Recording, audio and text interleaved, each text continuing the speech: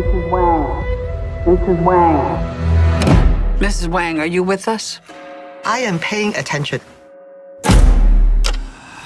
Now, you may only see a pile of receipts, but I see a story. I can see where this story is going.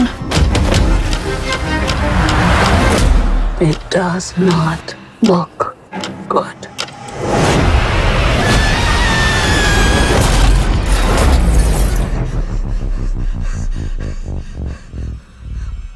What's happening?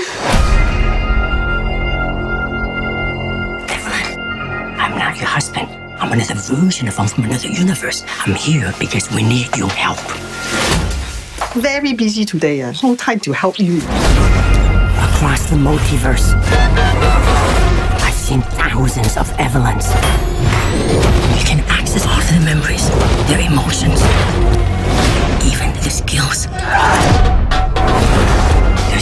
evil spreading throughout the many verses. And you may be our only chance of stopping it. Don't make me fight you. I am really good. I don't believe you.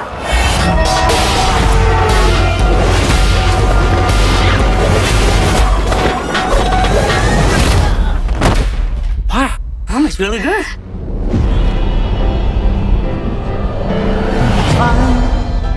He's waiting in the wings. The universe. He universe speaks of senseless things. is so much bigger you and me. than you realize.